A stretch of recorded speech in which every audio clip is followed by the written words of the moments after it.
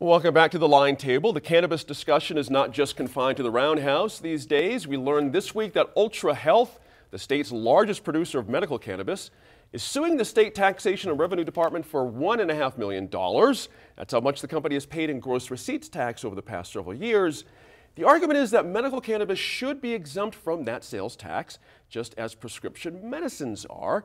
And Diane, they're all, this is all uncharted waters. We're all basically learning as we go here. It's an interesting, this discussion too, about how to deal with these issues. But do you think on this particular issue, does Ultra have a point? I mean, on its face, it seems like they must be right. It is sort of a medical Rx thing, right? Except we need, uh -huh. except we need to remember uh -huh. that in the Medical Cannabis Act, the, it is not prescribed mm -hmm. by a physician. Gotcha. That is not allowed. A physician may not do that. Mm -hmm. They can refer them to the program.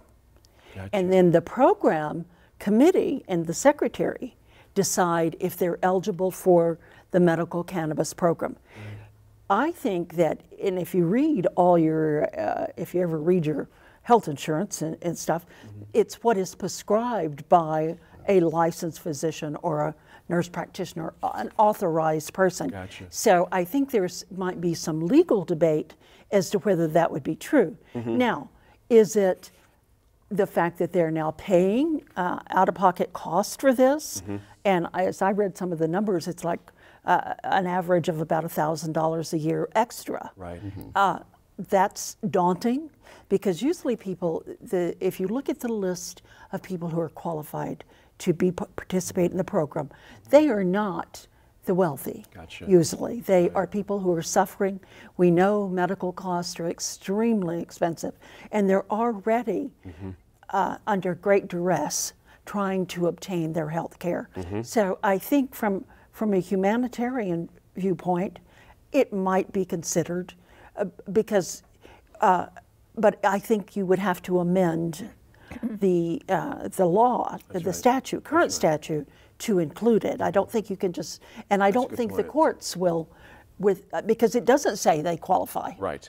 And so I think that it, it's going to be determined by the courts anyway. Yep. But the, I think it will require legislation. Interesting point. And on that point, Harry, um, Senator Jerry Ortiz Pino was here with my mm -hmm. colleague Gwyneth Doland last week talking about this very thing. He is proposing legislation, or is going to be proposing legislation right. mm -hmm. to deal with exactly what Senator Snyder is talking about. Mm -hmm. Is it, uh, again, it's none of us are docs here, but is it right. appropriate? Because, uh, well, let me put it this way. If, if in fact it, it, goes the other way. Is there any downside to that of mm -hmm. losing that kind of gross receipts tax, or is it, it harmful it really to the business? seems uh, minimal in terms of the effect on the uh, state budget. So okay. then it becomes an issue of is this you know truly a compassionate sort of uh, public uh, policy? And to the extent that there's evidence that this uh, works and it does uh, work for a variety of medical conditions, mm -hmm. it just seems almost cruel to put an additional impediment to that mm -hmm. by adding a GRT to it. Right. You know, uh, Dee, you might remember, and all of us, and even at home might remember, this is the same company had that dust up at the state fair. Right. Remember that, where they were not allowed to, they were going to do an educational booth with a plant and some pictures, and they couldn't even do the pictures. They couldn't do anything. Right. But they kind of, they, a judge ruled in their favor a bit on this, and, and Ultra is obviously still pressing on this. But what does that tell us about where medical marijuana is in the, in, in, the image of how it is in our, our, our state here? There's still prejudice against mm -hmm. medical marijuana. Right. Just that it's mm -hmm. tinged by this whole recreational issue. Mm -hmm. And it really, uh, in my view, it really is acting like a medicine for epilepsy, for yeah, AIDS, for cancer. That's right. And, you know, we should we should recognize that, and I mm-hmm. would support uh, Senator Ortiz Pino's bill mm-hmm. uh, to re, to remove the gross receipts tax and to change the definition in the Medical Marijuana mm-hmm. Act. Um, and maybe we can make up some of the revenue by taxing recreational. Uh, marijuana. there you go. As our previous segment as I, as I, right, as exactly. I understand it, the tax rates there are as high as 12% or 9%. Right. And that's, what I, uh, yeah. you know, that's going to be a considerable yeah. amount of revenue for both the states right. and the cities. Let's get, let's get into that revenue uh, question, Ed. Let's just go there because there's a lot of, you know, some fields worth 20 to 40 million here to the state. Some people have the other end of it completely, like 400 million could come in from recreational uh, licensing of, of marijuana here. But the idea that you know, is a cure-all for all of our budgetary ills. Are, are you quite? Because I want to talk to you about law enforcement too, since that's part of your background. Let's talk about budget. What, what's your sense of it as you look at it right now? Well, I think we we need to be very careful with that because we have to look at the social cost, right? Okay. We see there are a lot of states who are, you know, experimenting, so to speak, in, in this legaliza- legalization of marijuana.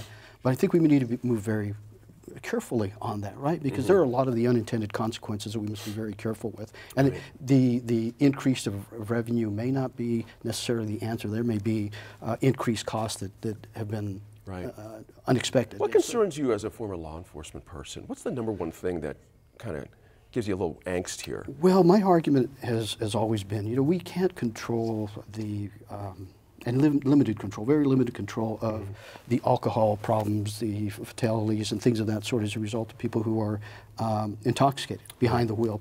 Well, our concern is if we now legalize another substance, will that encourage more individuals who might not use it otherwise than to use it and then cause these other have this other social impact. Gotcha. So there is there is that concern. What does that really mean? I, I, I'm an adjunct professor, and I, I pose that question to my hmm. college students, mm-hmm. and it was interesting. And most of them are in their in their early 20s, and uh, the majority of them felt that it should be legalized. Right? Mm-hmm. The older mm-hmm. students in class said, "Well, maybe." Not. Oh, so, no kidding. so it just depends. Sometimes it's it's a generational thing, right? Yeah, yeah. And that's what we're and that's what we're up against. Isn't that funny? Funny how people work in that way, isn't it? Change, age changes a lot of things, doesn't it? It's very interesting. HVB, there is an, another idea that um, uh, we have states to look at, and, and- Absolutely. and that we can not mimic their problems, or, Right. or states that have done certain things. I want to go to Colorado because you had supplied us a link to a That's very right. Interesting segment from Colorado PBS about the black market Right. in Colorado that is booming because of the situation, and partly because of the tax situation too, which is interesting. But Touch also, uh, the excess marijuana has to go uh, somewhere. Right. Yeah, and what's interesting in thinking about that uh, clip, which I would recommend to anybody, Absolutely. uh, is to then put it in conversation with the clip that we uh, had here, Mm-hmm. where there was a lot of folks saying, well, the black market isn't really going to be a problem. Right. I think there's a lot of evidence that we really need to uh, bring to a bear. So, for example, Ed brought up you know, issues that related to alcohol.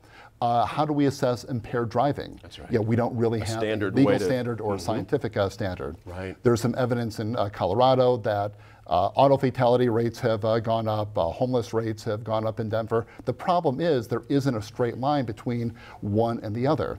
And so my concern is that there's this rush to legalization on the recreational side without really thinking through what the social costs might well be and what a rational policy is. Just for one example, where would it be grown? Uh, I may be supportive of it. Uh, I'm actually on the uh, fence, but Sure.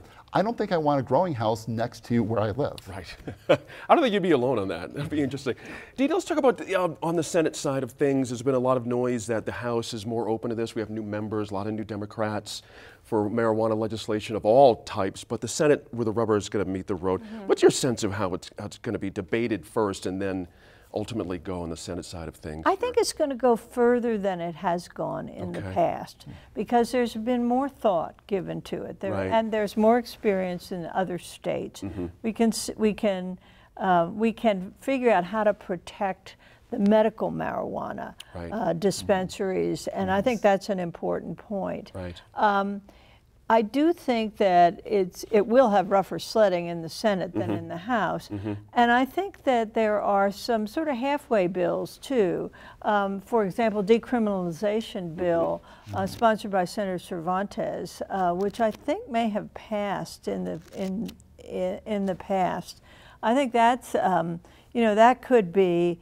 Um, that could be something that would be uh, possible. And that would be no small thing. That would be a, a- a major leap forward in a lot of regards. Right. Yeah. And remember, the governor has had certain concerns about this as well. she's right. she's mentioned these social costs as well.